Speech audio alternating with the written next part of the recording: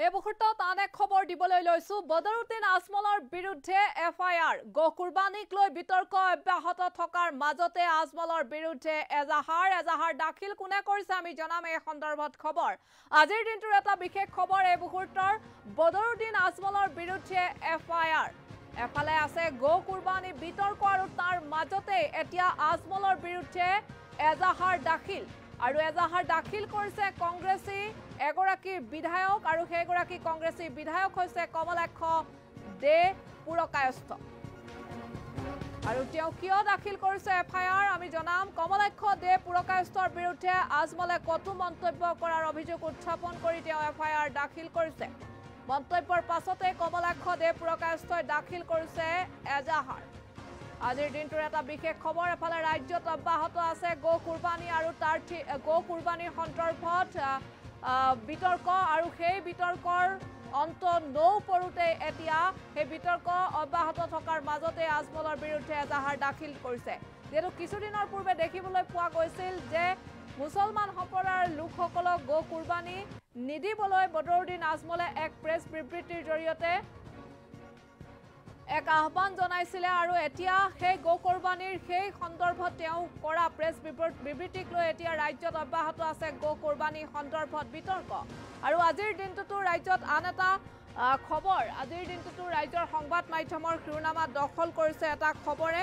আৰু গো কোৰবানীৰ ক্ষেত্ৰত নিষেধাজ্ঞা কি কি আৰোপ কৰা হৈছে সেই সন্দৰ্ভতো এক নিষেধাজ্ঞা আৰোপ কৰা হৈছে বা গো কোৰবানীৰ ক্ষেত্ৰত কি কি নিষেধাজ্ঞা আৰোপ কৰিছে সেয়া ইতিমধ্যে আপোনালোকে গম পাইছে। ইতিমধ্যে কাৰণ পশু মন্ত্ৰালয়ৰ আহ্বানত ডি চি আৰু এছ পিলৈ জিলাসমূহৰ ডি চি আৰু এছ পিলৈ নিৰ্দেশ দিছে গৃহ বিভাগে। আৰু গৰুটোৰ অবৈধ হত্যা কোৰবানী বন্ধ কৰাৰ নিৰ্দেশ দিছে গৃহ বিভাগে। আৰু নিৰ্দেশ মৰ্মে গো সৰবৰাহৰ ক্ষেত্ৰত মানি চলিব লাগিব আইন আৰু আইন মানি চলি পালন কৰিব লাগিব পাৰিব পৰম্পৰা। আৰু তাৰ কিছুদিন পূৰ্বে দেখিবলৈ পোৱা গৈছিল প্ৰেছ বিবৃতিত বদৰুদ্দিন আজমলে এক প্ৰেছ বিবৃতি দিছিল। আৰু তাৰ তাতেই উল্লেখ কৰা হৈছিল যে হিন্দুসকলে যিহেতু গৰুক পূজা কৰে আৰু গৰুক এনেধৰণে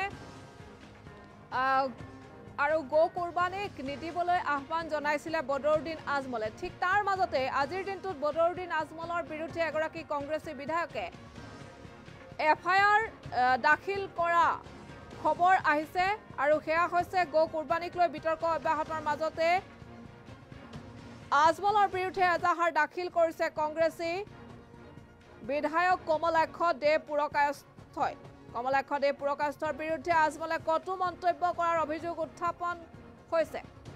আৰু মন্তব্যৰ পাছতেই অৰ্থাৎ আজমলে মন্তব্য কৰাৰ পাছতেই কমলাক্ষ দেৱপ্ৰকাশই দাখিল কৰিছে এজাহাৰ। এই খবৰটি এতিয়া ৰাজ্যৰ সংবাদ মাধ্যমৰ শিৰোনামা দখল কৰিছে।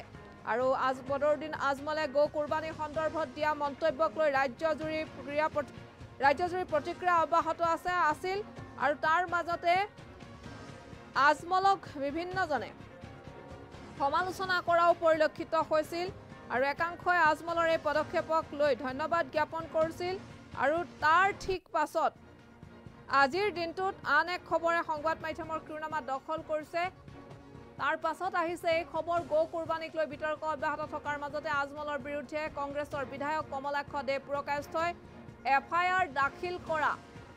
খবৰ ইতিমধ্যে আমাৰ হাতলৈ আহি পৰিছে আৰু এফ আই আৰ দাখিল কাৰ- কৰাৰ কাৰণ হৈছে কমলাক্ষ দেৱ প্ৰকাশৰ বিৰুদ্ধে আজমলে কটু মন্তব্য কৰাৰ অভিযোগ আৰু এই অভিযোগ উত্থাপন কৰি বদৰুদ্দিন আজমলৰ বিৰুদ্ধে এফ আই আৰ দাখিল কৰিছে কমলাক্ষ দেৱ প্ৰকাশই